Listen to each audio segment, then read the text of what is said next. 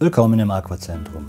Damals, aufgrund des Coronavirus aus der chinesischen Stadt Wuhan, gab es eine verstärkte Nachfrage nach Desinfektionsmitteln, die Viren abtöten. Da wir im Aquazentrum schon lange ECA-Anlagen in unserem Sortiment haben, war das für uns kein Problem. Wir haben uns mit der besten dieser ECA-Anlagen einfach unser Desinfektionsmittel selber gemacht.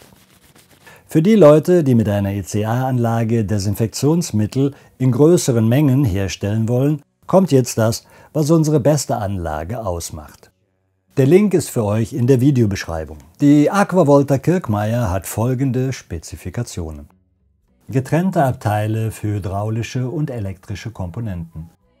Zelle mit doppelt gekühlten Elektroden und integriertes Elektrodenspülsystem inklusive Ethernet-Anbindung bei allen Geräten standardmäßig dabei. Ein Geschenk des Aquazentrums. Mobiltelefon-App, iOS und Android, Steuerung und Monitoring der ECA-Anlage. Weitbereichseingang der elektrischen Spannung von 100 bis 240 Volt. Membrane auf PTFE-Basis und beide Elektroden aus Titan. Verbindungsstücke und Schläuche aus PTFE oder PVDF. Touchscreen PLC-Steuerung für Strom und Spannung. Möglichkeit der Einstellung und extreme Stabilität des pH-Wertes. Automatischer Start und Stopp durch integrierten Schwimmerniveauschalter. Zwei Jahre Garantie auf Komponenten und Elektrolysezelle. Niedrigsalzanlagen verfügbar. Ab Kirkmeier Army-Serie. Ersatzteil und Reparaturservice während und nach der Garantiezeit. Alles andere, was ihr wissen wollt, steht auf der Website wie gesagt, ihr findet diese in der Videobeschreibung.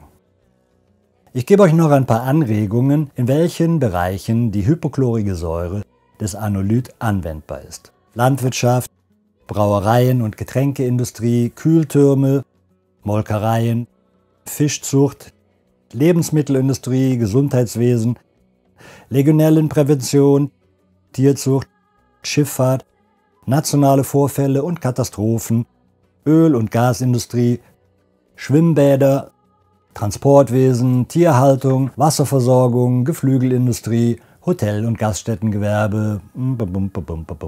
Bleibt gesund und bitte schaut euch die Website an.